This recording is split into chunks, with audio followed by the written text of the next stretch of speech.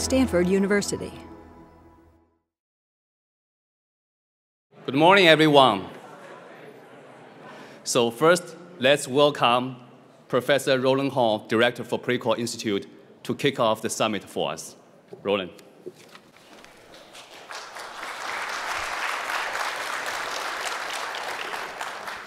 So good morning, everybody. My name is Roland Horne. As you heard, I'm the interim director of the Precourt Institute for Energy and a professor of energy science and engineering here at Stanford inside the Stanford Doerr School of Sustainability.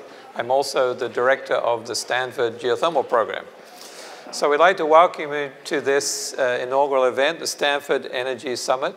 Um, this is actually Stanford Government Energy Summit. Uh, this is actually two events in one. Uh, today we're focusing on California, uh, co-sponsoring with the California Energy, uh, California Energy Commission, and, and tomorrow co-sponsoring with DOE for uh, to look at the launch of a new program here at Stanford called EARNEST. So in today's event, we're going to explore how universities and all of you uh, can collaborate together to support uh, California's decarbonization goals. So California's targets include uh, net-zero carbon emissions and 100% clean energy by 2045, which is 21 years from now. So in the Precourt Institute for Energy, our vision is sustainable, affordable, secure energy for all. And our mission to bring that vision to reality is through research and education. So Stanford University itself is committed not only to sustainability scholarship, but also to sustainable operations. So here at the university, we have 100% renewable electricity supply, a fleet of all electric buses, as well as aggressive programs to improve energy efficiency across the campus, conserve water, and also to reduce waste. So we have an awesome lineup of speakers and panel members in today's event. Uh, that include participants, the heads from three California state agencies, uh, two of the state's two main public utilities, and we have joining them two state senators, so welcome Senator Becker and Stern. We have investors, energy entrepreneurs, senior executives from the Department of Energy, uh, researchers from Stanford University, UC Berkeley, UC Davis, and Lawrence Berkeley National Lab. And also data scientists from our neighbors down here in Mountain View from Google. And of course, all of you. And uh, I welcome you all as well. Not to mention, of course, quite a significant number of Stanford faculty, research staff, and students who will be part of today's event. So, I'm going to introduce next the, my boss, the Dean of the school, uh, the Stanford Doerr School of Sustainability, uh, who is Arun Majumdar. So in addition to being Dean of the Doerr, Stanford Doerr School, he's also Professor of Mechanical Engineering as well as Energy Science and Engineering and also Photon Science. So he chairs the advisory board of the US Secretary of Energy, uh, Jennifer Granholm. And in 2009, President Obama uh, appointed Arun to be the first director of the Advanced Research Projects Agency hyphen energy, known to us as ARPA-E, where Arun actually led the creation of the agency and took it to become a very uh, uh, innovative and successful agency. Uh, before that, he was a professor at another university uh, across the bay. so please welcome Arun Majumdar.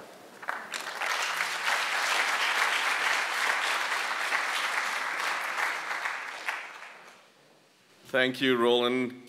Good morning. Let me thank the staff of the Precourt Institute for putting this all together. But let me start by expressing my deep gratitude to the California Energy Commission for partnering with Stanford to create the Stanford CEC Energy Innovation Summit, or as we called it, the California Day. Let me also welcome all the leaders, the representatives the California government, representative of all community organizations, representatives of corporations, my fellow academics and national lab staff from around California, as well as you who are here in person as well as on online. The world faces a unique challenge and opportunity. 8 billion people going to 10 billion by mid-century, a $100 trillion global economy that is growing, that is based predominantly today on fossil fuels. The world is embarking on the largest transition humanity has ever undertaken to reduce greenhouse gas emissions while growing the economy. All major nations, all major corporations and organizations have made commitments to reduce their emissions. But no one has really figured out how to navigate this future. They're willing to embark on this journey, but they're uncertain about how to do so while creating a prosperous and secure future for the people. That is the world we live in today. People are looking for help. They're looking for solutions. And they're looking for a model of excellence.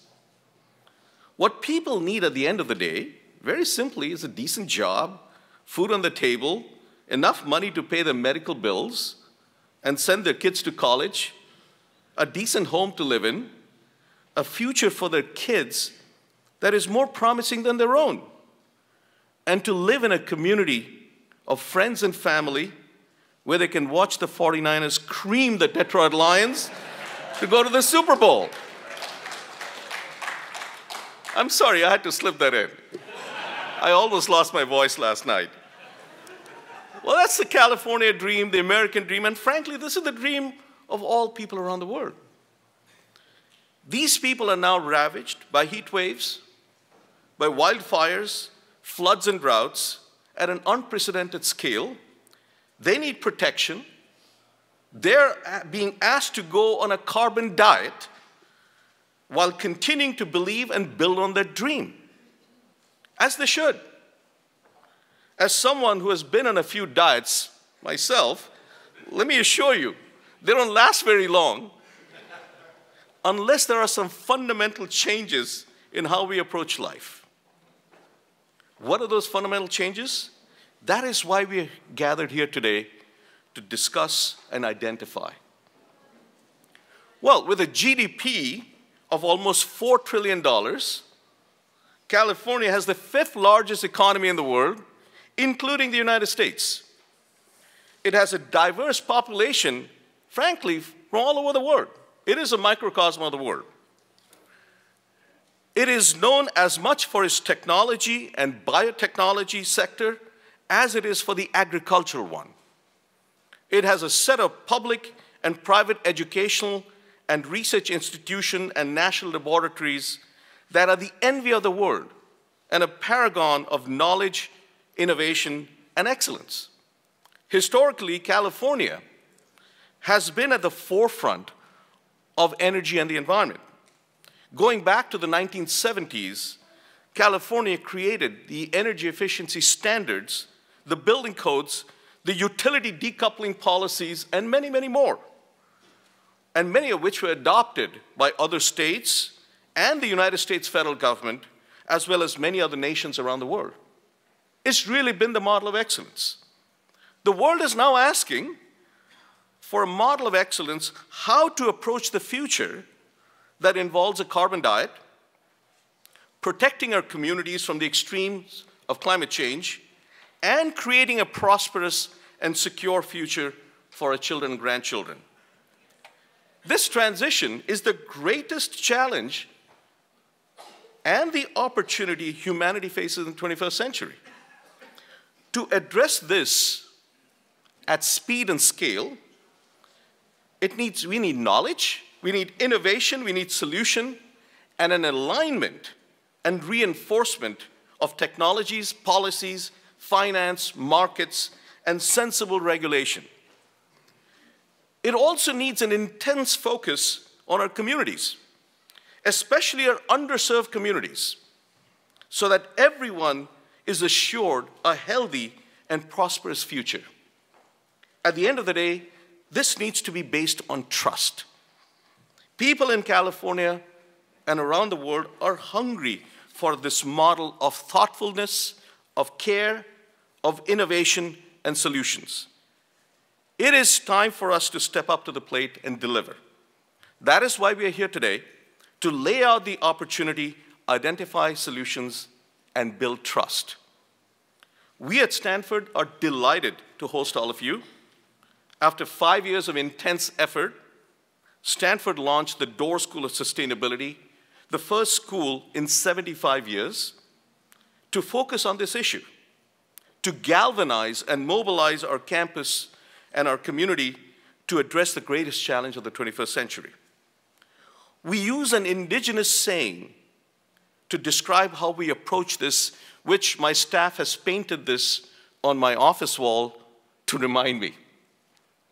We do not inherit this earth from our ancestors, we borrow it from our children. We are being asked to reimagine an academic institution and how we engage with and create value for society writ large. We need all of you as fellow travelers in this journey. So thank you for joining us today, and it is my great pleasure to, and an honor to introduce David Hochschild, Chair of the California Energy Commission, to the stage. Thank you, All right, good morning, friends. Well, my voice is a little hoarse. I was at the game, uh, and it was, it, was, uh, it was worth it. So um, I want to say we have to win the climate Super Bowl now. And really, um, that will only happen if the great California clean energy experiment succeeds. Uh, we are the birthplace of all of the leading clean energy solutions. The first utility scale solar project in the world built here, first large scale rooftop systems in the world built here, first terrestrial wind system, first electric car, first energy storage project, the first energy codes and standards. We are the birthplace.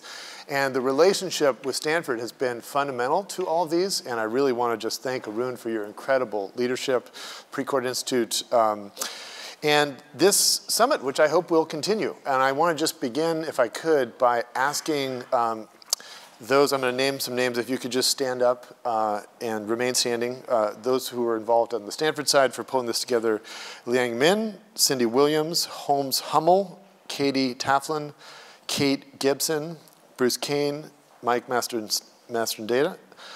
And on the CEC side, Colleen Cradell, Lorraine Gonzalez, and Jonah Steinbuck. Let's give them a round of applause. Thank you all.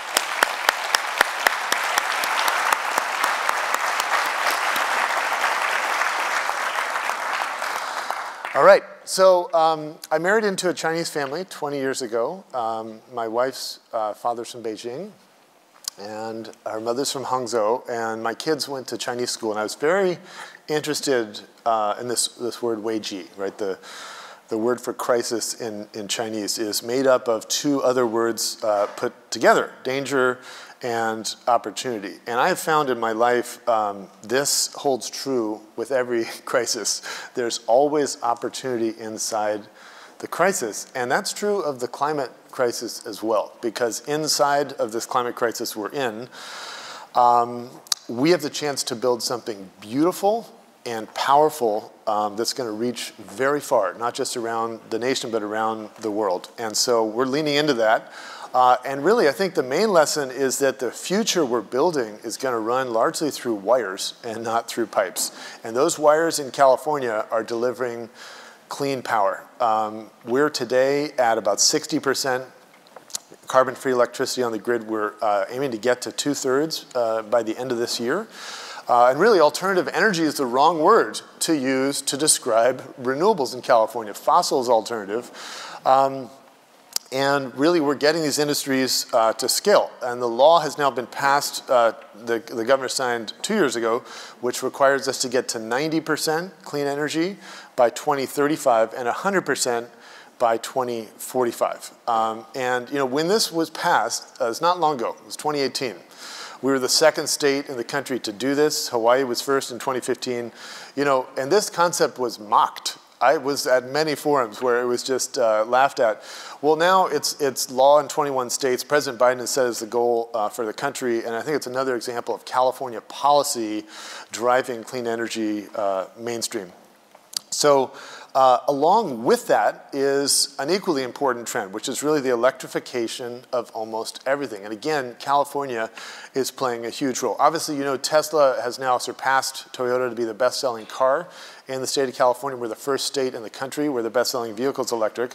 But along with that, uh, you know, Zero Motorcycles, which we fund, making electric motorcycles, electric scooters, bikes, the Ford F-150 Lightning, uh, electric buses. Uh, just last week, California received the very first electric tugboat in the world in San Diego, and then electric ferries are coming. I just came back uh, with some of my staff a few months ago from Norway, which has done 53 electric ferries. These are not small ferries, these are full-scale ferries.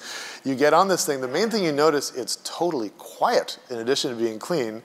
And um, the ferry takes seven minutes to disembark all the passengers for the next group to get on, fully recharges in that time, and can go out for another two hours. That's coming. And what we want really is for everything that connects to the grid to be a good citizen of the grid.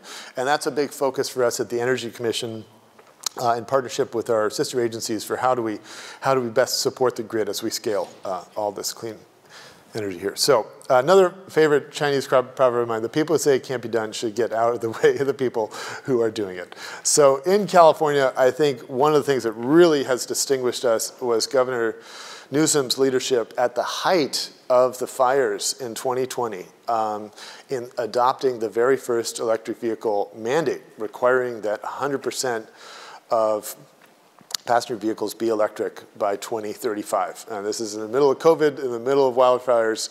Uh, and again, this was mocked, it was dismissed, and now the EU has done it, others are doing it, uh, and it's really driving electric vehicles mainstream. And today, uh, as many of you know, we set another important milestone, which is now that, that um, we're at 25% of new vehicle sales are electric, up from 5%. So it's happening. And it, to me, it's not just that the electrification of the transportation fleet is possible. It's that it's inevitable. And what our job is to do is to make it happen as fast as we can. So uh, again, Tesla being a great example here, um, they're making about 2,000 electric cars a day on the Fremont line. That is the most productive car factory of any kind in all North America. EV charging stations up to 98 chargers in one location there in Coalinga. We're at uh, now about 94,000 chargers uh, for the state. Uh, that's more electric vehicle chargers than there are gasoline nozzles in the state of California, about 60,000 gasoline nozzles. We're also bringing other technology to scale, the largest solar rooftop just down the road here uh, at the Apple headquarters, um, the world's largest geothermal power plant, uh, the geysers, uh, about two hours north of us in Lake and Napa counties. Um, and we're home as well to the world's largest battery storage project in Moss Landing. Um, and I will just pause on this for a moment. Uh, you know, it's interesting to note there, there are a lot of people who are actively rooting for California to fail. I think it's important to, to note that. In this particular project, there was uh, one of those units caught fire because of a basically not it wasn't a battery chemistry issue it was the vent hood uh, was installed the wrong way. So rain got in caused a short. The fire was outside uh, you know in a the, it was a unit was uh, in a in a uh, enclosed metal shipping container on a concrete pad. The fire didn't spread, no grid outages, no injuries, no fatalities. But there was an editorial in the Wall Street Journal the next day about the dangers, you know, battery storage poses to the nation. You know, meanwhile, I have issues with our gas fleet all the time. We had a we had a unit in Hayward that blew up and sent a chunk of metal flying 1,200 feet through a um, community center kitchen. You know, it gets no national press. And so I just think it's important to note this article in the Wall Street Journal felt a little bit like the obituaries. You know, had already been written and they're looking where to place it. But I note that because I think it's important to to realize how many.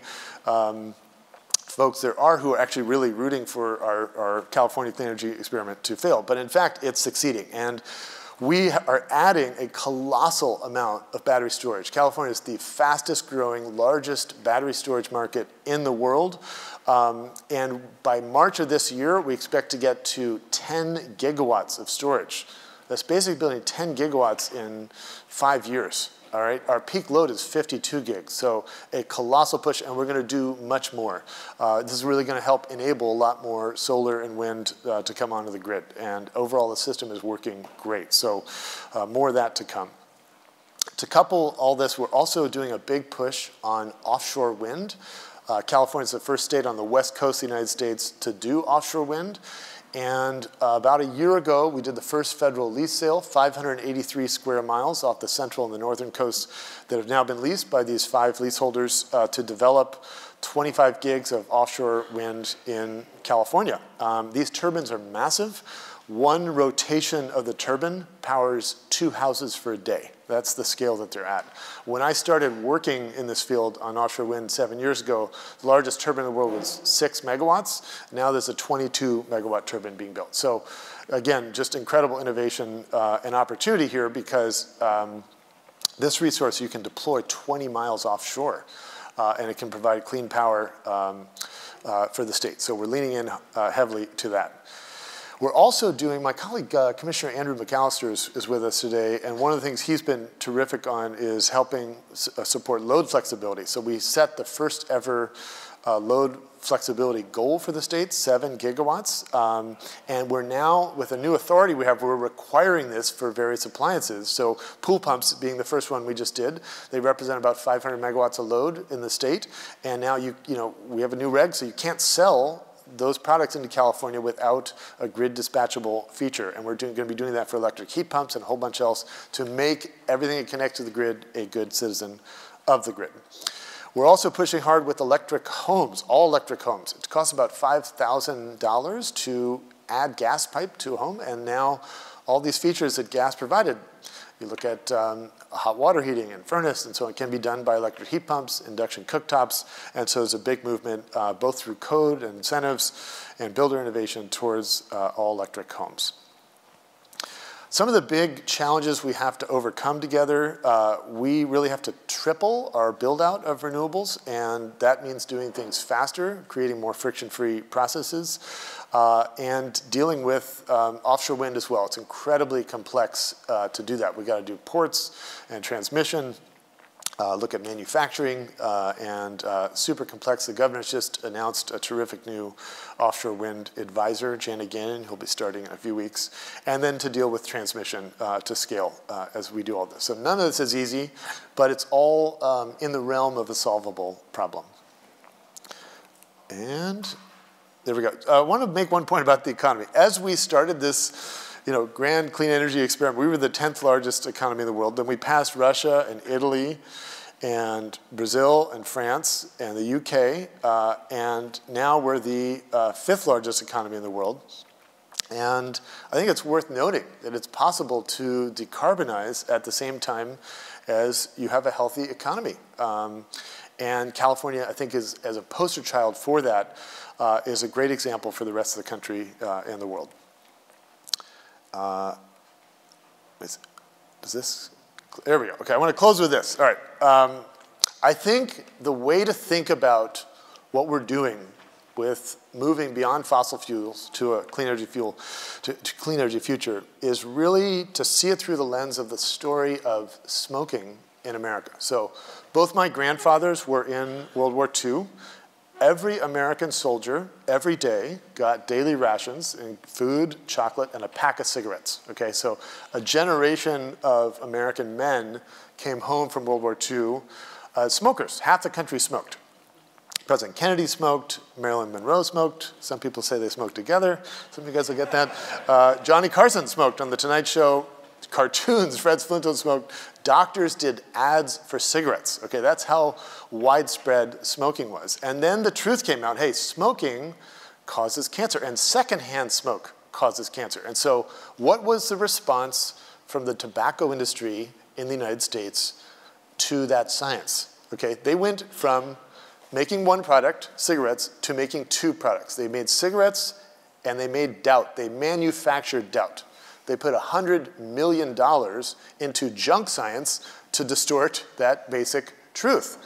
So what happened next is very instructive because ultimately science won and truth won. And we got health warnings on packaging, cigarette advertising, banning, banned, banned advertising from television, uh, cigarette taxes, and so on. This line did not come through, but basically we dropped smoking down to 9%. It's really one of the great success stories uh, in American history for public health. And I think we can do the same for climate and clean energy. So thank you all.